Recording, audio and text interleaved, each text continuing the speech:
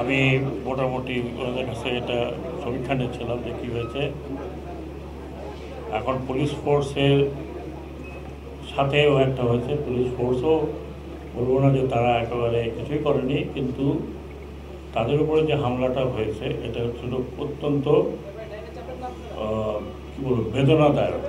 তার কারণ একজনকে গুলি করে মারা আর আরেকজনকে মাথার চামড়া খুলে ফেলা, পা পা টুকরো টুকরো করা, থাকলিয়ে দেওয়া, মাথা থাকলিয়ে দেওয়া, এটা তো আপনি কারোর সাথে করেন করতে পারেন না। ইভেন আমরা যুদ্ধের সময় যখন যুদ্ধ হয়, তখন একটা মৃত সৈনিককে আমরা এইভাবে তাকে থাকলিয়ে দেই না।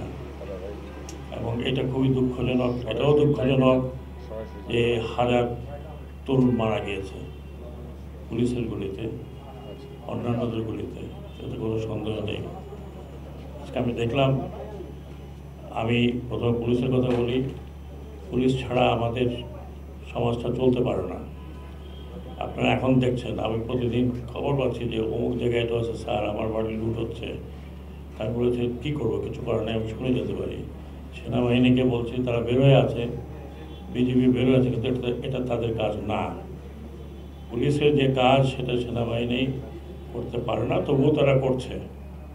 তারপরেও তারাও অ্যাটাকে সামিল হচ্ছে। আপনারা দেখেছেন গতকালকে গোপালগঞ্জে এটা হয়েছে। এখন গোপালগঞ্জের লোক যদি কমপ্লেন করে যে আমাদেরকে সেনাবাহিনী মেরেছে, তাহলে এটা জাস্টিফাইড হবে কিনা আমি জানি না। আমাদের দেশের এই সমস্ত ঘটনা, আমি যদি এক কথায় বলি, আপনারা আমার কথা অনেক শুনেছেন, গত পনেরো বছর, তারও আগে বিশ বছর ইলেকশন কমিশন থাকতে আরও পাঁচ বছর শুনেছেন। একটা রাষ্ট্র এভাবে চলে না। একটা রাষ্ট্রের পলিটিক্স এটা হয় না। একজনের ইচ্ছা মতো রাষ্ট্র চালানো যায় না। সেটা যাই হোক, সেটা যে যার অবদানই থাক এটা বঙ্গবন্ধুর অবদান ছিল ঠিকই, কিন্তু হাজার হাজার লোক যুদ্ধ করে তিরিশ লক্ষ লোক মারা যাওয়ার পরে এ রাষ্ট্র স্বাধীন হয়েছে। এ রাষ্ট্র কারও পার্সোনাল প্রপার্টি না। আমি খুব পরিষ্কার ভাষা বলছি কারও পার্সোনাল প্রপার্টি না কারও ফ্যামিলি প্রপার্টি না। পলিটিক্সে তাকে এত নষ্ট করা হয়েছে যে আর কেউ এখানে ঢুকতে পারে না। বাপ, ছেলে, ছেলের ছেলের বউ ছেলের বউ ছেলের বউ, নাতি, পুতি চলতেই আছে। আর পাওয়ারটাকে কুক্ষিগত করা হয়েছে। হাজার হাজার লোক মারা, মারার পরেও পাওয়ারে থাকতে চায়। এটা খুবই দুঃখজনক। খুবই দুঃখজনক। তারপরে আমি একটু স্পষ্টবাদী, এই পুলিশকে ব্যবহার করেছে লাঠিয়াল বাহিনীর মতো। এই পুলিশকে ব্যবহার তৈরি করেছে, মারণাস্ত্র দিয়েছে পুলিশের হাতে সেভেন পয়েন্ট সিক্স টু দেখে আমি আশ্চর্য হয়ে গেছি। এটা বোধ হয় পনেরো বিশ বছর আগে দেওয়া হয়েছে।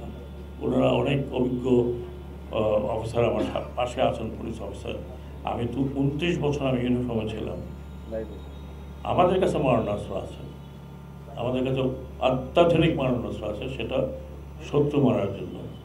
In the borders not internal use পুলিশকে এই অস্ত্র দেওয়া ঠিক হয়নি।